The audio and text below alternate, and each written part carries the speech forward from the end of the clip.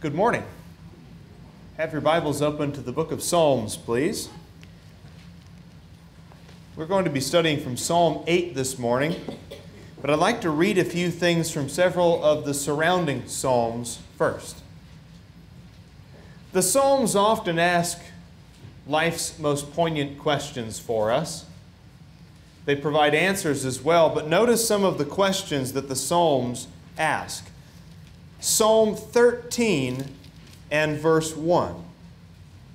How long, O Lord, wilt thou forget me forever?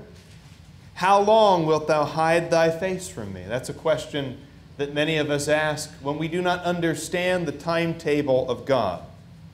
Notice chapter 10 and verse 1. Psalm 10 and verse 1. Why dost thou stand afar off, O Lord? Why dost thou hide thyself in times of trouble? Why does it seem like God isn't there when we need him most? Psalm 2 and verse 1. Why are the nations in an uproar and the peoples devising a vain thing? Why is it the people of the world set themselves so heartily against God and his cause and his people? Go to Psalm 52 and verse 1. Why do you boast in evil, O mighty man? Why does man love evil as much as he does? Not only why does he love it, why does he boast in it? Why is evil a point of pride for people? Psalm 119 and verse 9. How can a young man keep his way pure? By keeping it according to thy word. These are the great questions of life, aren't they? They're the questions that vex us. The unbeliever, probably more than the believer, yes, but they are the great, the great questions that we're all asking. And the same is true of Psalm 8, where the writer asks, What is man? What is man? Such a simple question, isn't it? But one that bothers us, one that confuses us. Maybe it's a question that we all think we know the answer to. But what is man? And especially in the context of Psalm 8, what is man that of all the creatures, that of all the things in this universe, that God would look upon us and give us so much glory? To place us in the order of creation where we are, in spite of our sin, in our frailty and our failure. One writer summed up Psalm, uh, summed up Psalm 8, verse 1 in this way This psalm is altogether a psalm of praise and thanksgiving. Its primary idea is the condescending love and good of God towards man that God, who made the heavens and set his glory on them, should have regard for man and visit him. And not only so, but give him so lofty a position, so exalted a destiny, is a thought that is well nigh overwhelming. So let's begin in verse 1 as we read Psalm 8. O Lord, our Lord, how majestic is thy name in all the earth who hast displayed thy splendor above the heavens. A couple of points there as we get started. I like that he displays his splendor, that it is there for all people to see. The idea of display means that it is public. The idea of display means that God has nothing to hide of what he wants us to know. You have displayed your splendor, but where? You've displayed your splendor above the heavens. Now, of course, we understand that this is a three dimensional universe and that space is not like some dome that sits over us, that space continues and continues, hypothetically, I suppose, for infinity. And yet, God's glory is beyond that, above that. When I think of God's glory, I think of the idea of seeing beyond just what we can see. You know the old adage about missing the forest for the trees, where you focus so much on the thing that's right in front of you, the detail that you can see that's right there, that you forget to see the big thing that's beyond that? I think the same thing happens with this creation. We see the stars and we see the moon and we see the sun. We see everything on planet Earth. With a microscope, we can see all the way down to the smallest thing on planet Earth. And yet, you have to see past that to see God's glory. His glory is displayed above the heavens. From the mouth of infants and nursing babes, thou hast established strength because of thine adversaries to make the enemy and the revengeful cease. Now, there's a couple of different theories about verse 2 as to how it's to be interpreted. Some take it very literally that from the mouth of infants and nursing babes, God can establish strength. That even with the smallest and weakest thing, God can establish His strength. That God could overthrow kingdoms with the strength of a baby. I, that's no problem at all with that interpretation. Other people see it as more of an accommodative thing. That instead of literally being infants and nursing babes, what he's talking about is small children who have the most basic verbiage at their capacity. What he would mean by that, then, if that's how you interpret it, is that from the mouth of even our youngest ones, as they make any kind of proclamation of faith, and I've seen it in my own kids, you've seen it in your kids, there is a trust and a faith that kids have in their parents as well as in God that we lose somewhere along the way when we become adults.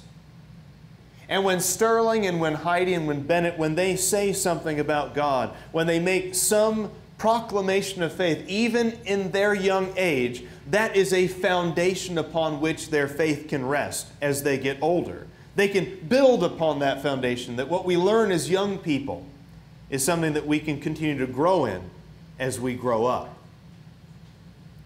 But I think it doesn't even have to be that complicated. Look at what's being used here. From the mouth of infants and nursing babes, strength has been established. Why? What's the purpose? Why has God established strength through such weak characters? To make the enemy and the revengeful cease. Now, could God have overwhelmed the enemy and the revengeful? Could he have overpowered them? Could he have destroyed them with a single word, with a single stroke? Of course he could. And on the last day, God will destroy this earth and all of its works. And every person who lived in rebellion from the beginning until the end will be judged by God. And yet, look what he chooses to do to disarm enemies and the revengeful with the weak with the innocent, with the humble. Maybe the practical application is this that you can overpower your enemies. You can overwhelm your enemies. You can fight against your enemies. You can respond in kind when they treat you miserably. Or you can be innocent and humble and sweet. And with the strength of a nursing baby, you can disarm your enemies.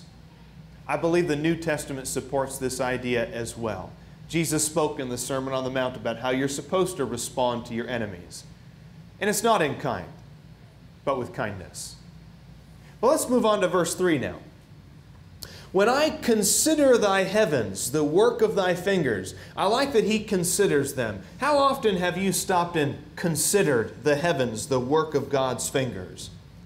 I don't want to sound too stop and smell the roses here, but don't we spend a little bit too much of our lives focusing on our own creations, worried about the things that we've crafted with our own hands and our own minds, that sometimes we forget to stop and consider God's works? The thing is that when you surround yourself with your own creations, your house is your own creation. Your job is your own creation. You're building something, making something, writing something, leaving some legacy behind. Your family, in a sense, is your own creation. Now, I understand that all of these things stem from God as their originator, that if it wasn't for God, we wouldn't even have the material to build a house. We wouldn't even have the ability to have children. I understand that. But in a sense, within this life's context, those are our creations. Those are the things that we create. We craft them, we make them. And if we're surrounded all the time by the work of our own hands, a house, a job, family, doesn't that distract us from looking at God? I can spend my whole life patting myself on the back because I've done a good job making a life for myself. That I might entirely forget who it was that made that life possible. Looking up at the stars, admiring the moon, letting a little of that warm sunlight in January on our face that's a reminder that all of this is God's handiwork. He is behind it all. He is behind me, He is behind you. He makes life possible. In the busyness of life, don't forget to consider God's works. But when I consider thy heavens, the work of thy fingers, the moon and the stars which thou hast ordained, this is the question that he is led to. When he looks at the stars and the moon, when he looks at the heavens, this is what the writer wants to ask in response to that majesty. What is man? And what is man that thou dost take thought of him? Why do you care about us so much? Why expend so much energy on something so small? What is the Son of Man, he says, that thou dost care for him? And yet, in verse 5, thou hast made him for a little while lower than God, and dost crown him with glory and majesty. Thou dost make him to rule over the works of thy hands. Thou hast put all things under his feet sheep and oxen, the beasts of the field, the birds of the heavens, the fish of the sea, whatever passes through the paths of the sea. What are we? that God should care about us so much, that He should show such concern for what appears to be a rather meager part of His creation. If God can speak the sun into existence, and if you take the stars at their word, if God can speak millions and billions of suns into existence with just, just a word, just a word, what are we really? Inconsequential. Inconsequential. In comparison to the heavens, that is. This is the central question of this psalm. This is the central question, I believe, of life.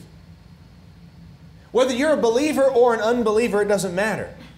Whether God is in your life or you have excluded God from your life, it doesn't matter. The atheist and the Christian alike are asking the same question What is man?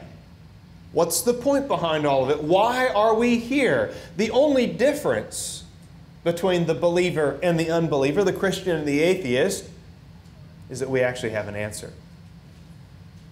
We actually have an answer. And, we have an answer that isn't just a philosophical dead end. What is man? There is something different about man, isn't there? This is an unimaginably immense and complicated universe. And for all of our studying and all of our diagramming, our dissecting and our theorizing about the universe and its scope and its origins and what could possibly be out there, and is there a little tiny Martian worm crawling around in that red sand somewhere? For all of the questions that we might have and for all the answers we believe that we've come to, we will never fully understand the breadth of this creation. There will always be things out there that are beyond our grasp and beyond our reach. And yet, there's something different about mankind. And for some strange reason, God took small, limited, temporal, physical man and said, All of this is for you. And I've put you in charge of it as well. There's a little bit of irony, isn't there? That we have been granted dominion over a creation that we cannot ourselves fully understand. I mean, it would almost be like if you were just handed the keys to a gigantic castle and they said, It's yours. It's yours. You have dominion over it. You're in charge of this place. But there are rooms in this castle that you'll probably never discover, secret passageways. Don't go in the attic, by the way, there's something weird up there. This is a creation that we, we, will spend millennia, we have spent millennia analyzing it and diagramming it and exploring it. And there's always going to be something else out there to explore. There's always going to be something else out there for us to learn, something else that we can use to our advantage. That impresses me. That impresses me. And I believe that is because God made us to be different. God made us to stand out in this universe. That for all of the stars and the moons that He could create, for all of the swirling spheres of gas that He could put out there in the universe, for all the galaxies that He could make just with a word, there is something about man that is supposed to be different. He looked at everything else when creating this universe, he said, This is good. He created man and he said, This is very good. Everything else was created with his words, but we are the only thing that was created with his breath in us. We're different. Made in the image of God meant to be like God, meant to reside with God at the end of all things. And God has set us upon planet Earth as masters of a world that we will never fully comprehend. And like the writer of Psalm 8 seems to be saying, this is a very humbling idea. Let's talk about the seas for a few moments here. Because he says in verse 8, the birds of the heavens, the fish of the sea, whatever passes through the paths of the sea. There's a lesson there that I think could be really easy to skip on past. A little nugget there that I think is worth pointing out.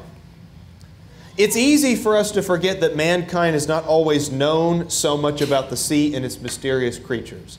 Now, we, we don't know everything about the sea still to this day. In spite of the technology that we have that we use to our service in exploring the sea, there's still things in the sea that we don't know about. I have no doubt at all that there are creatures at the bottom of the ocean that we have yet to discover.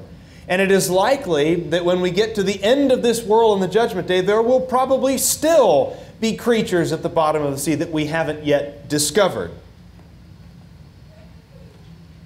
Which is interesting because it means that God created things that no human is ever going to see. You ever think about that? Even if we do discover some little critter at the bottom of the ocean, you do realize that that critter was left undiscovered for thousands of years. That as God was creating things in Genesis 1, He created creatures, He created animals that we're never going to see. He created stars that until we discovered the ability to use a telescope, that we couldn't see with the naked eye. There's things about this creation, both on planet Earth and far, far beyond, that have just sat there undiscovered, unseen by human eyes, perhaps until the end of time. And I wonder why. Why go to all the trouble? Why expend creative energy on elements that would forever remain shrouded in mystery, at least mysteries to us? And I think the answer is that He is the Creator. That it is in His nature, it is His character. Creating is what He does. And when He creates something, it is part of a system that is bigger than we can comprehend.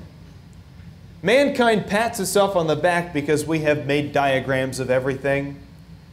And we think we're so smart because we've given species and family designations to every creature living on planet Earth.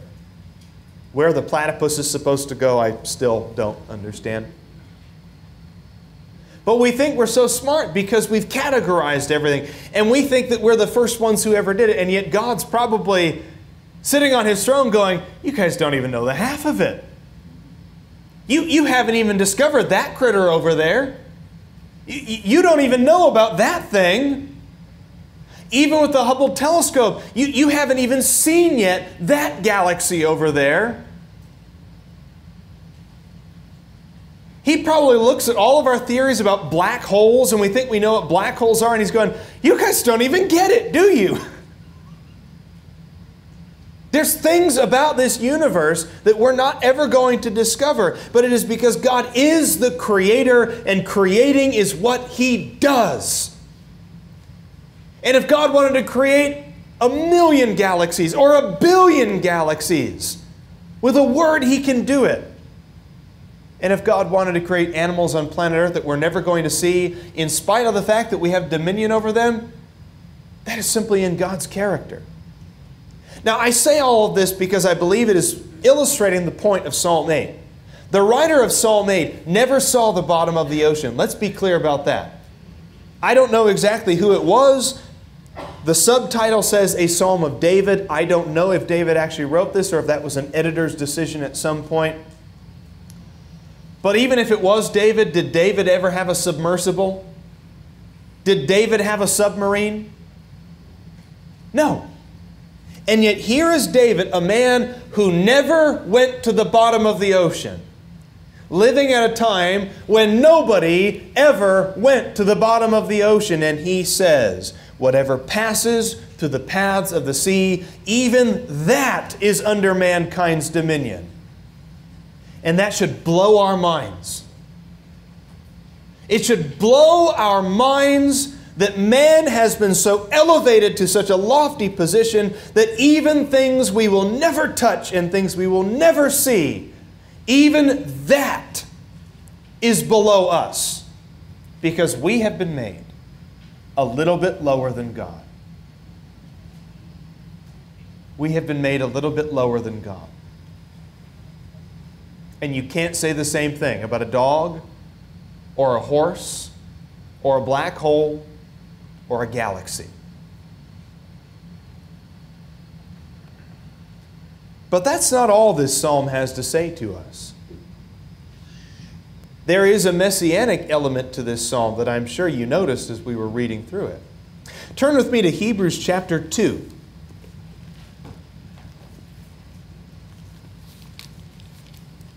And notice Hebrews chapter 2, verses 6 through 9. One has testified somewhere, quoting from Psalm 8, saying, What is man that thou rememberest him, or the Son of Man that thou art concerned about him? Thou hast made him for a little while lower than the angels. By the way, the word angels there and the word God back in Psalm 8, it's a generic use of the word Elohim, spiritual being. Not literally talking about God himself, but talking about spiritual beings, such as angels. Thou hast crowned him with glory and honor, and hast appointed him over the works of thy hands. Thou hast put all things in subjection under his feet. But he has this to say in verse 8 In subjecting all things to him, that is man, he left nothing that is not subject to him. But now we do not yet see all things subjected to him. Now, the thing that bothers the writer of Hebrews is this. If you read Psalm 8, it says that all things have been subjected to us, but are there things that are not yet subjected to us? What's the really big one? What is the one thing about life on planet Earth that all of us have to face at some point that has not been subjected to us? Death. Death. Death is a part of life, isn't it? It's a part of the process that we undergo. And that vexes the writer of Hebrews. I'm told in Psalm 8 that all things are subjected to us, that we're made just a little bit lower than God. And yet, when I look at life and I look at death, I don't see that all things have been subjected to us. But we do see him in verse 9, who has been made for a little while lower than the angels, namely Jesus. Because of the suffering of death, crowned with glory and honor, that by the grace of God he might taste death for everyone. And we could keep reading, of course. But I think what the writer of Hebrews is saying is Psalm 8 has a limited application to mankind but it finds its ultimate application in the Messiah. Because it is only the Messiah who truly has had all things, including physical death, subjected to him. And if it wasn't for the Messiah, Psalm 8 would never come true. But it is in the Messiah, it is in Jesus Himself that Psalm 8 finds its truest, fullest expression. And it is because of Jesus, the man, Jesus, who is God in the flesh, that we can be a little bit lower than God and have even death subjected to us. And Jesus could have appeared as anything. You ever think about that? Did Jesus have to come and be a lowly, humble human being? Could Jesus have come as a giant statue of gold? Could he have come as some kind of a ravenous beast? Could he have come as a blue whale, the biggest thing on planet Earth? Could he have come as a star? Could he have come as just a beam of light? I suppose, if that had been God's will for him to come in that form, but he came as a human. Daniel chapter 7 predicts the coming of the Messiah, describing him as one like a son of man. He came as a human. Philippians chapter 2, beginning in verse 6, describes the humility of Jesus. That even though he is equal with God, he did not consider equality with God a thing to be grasped, that is, held on to, kept for his own purposes. But he emptied himself, he humbled himself, and he came in appearance as a man to serve all of us. And where is Jesus now? Where is our Messiah at this very moment? He's reigning at the right hand of God, glorified, ready to receive us into the eternal kingdom. If you're not a Christian here this morning, you really ought to be. Perhaps Psalm 8 or some other scripture has piqued your curiosity and you'd like to study more. If so, let this congregation know and we'll open up our Bibles together and present to you the Word of God. Simply put, the gospel is Mark 16, verse 16. He who believes and is baptized shall be saved. So, whatever needs you might have, please come forward as we stand and sing.